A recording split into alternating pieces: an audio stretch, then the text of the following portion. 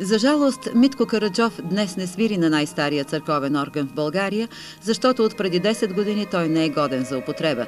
Единственият у нас пневматичен инструмент е служил вярно от 1908, когато в този храм прозвучава първият официален концерт пред русенската публика.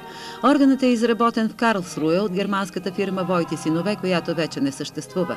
Преди две години в Русе беше регистриран граждански инициативен комитет за възстановяване на тази музикална реликва. 30 000 евро евро ще струва ремонтът. Неотдавна беше сключен договор за изпълнението му с германската фирма Валкер Майер, но до този момент е преведена само една трета от сумата.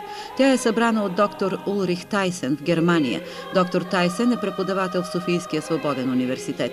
В сметката на Русенския граждански инициативен комитет има само 4500 лева и стотина евро, събрани от десетките благотворителни концерти и продажбата на почтенски картички с изображението на органа.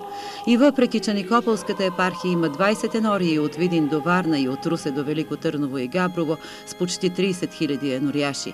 Всеки дарил над 100 лева получава свидетелство от епископията, но до сега са издадени само 40. Нямаше как да не мислим за тези факти, докато Митко Караджов свираше на електронния заместител в деня на 50 годишния си юбилей като църковен органист. За тази си дейност преди 15 години той беше удостоен със званието кавалер на ордена Свети Силвестър, лично от папа Йоан Павел II в Рим. Днес получи още едно признание. Лично благословение от негово светейшество за безкорисната му отдаденост на делото на католическата църква. Да се надяваме, че ще видим отново Митко Караджов пред истинския орган на 15 октомври 2000 2003, както е записано в договора за реставрирането му.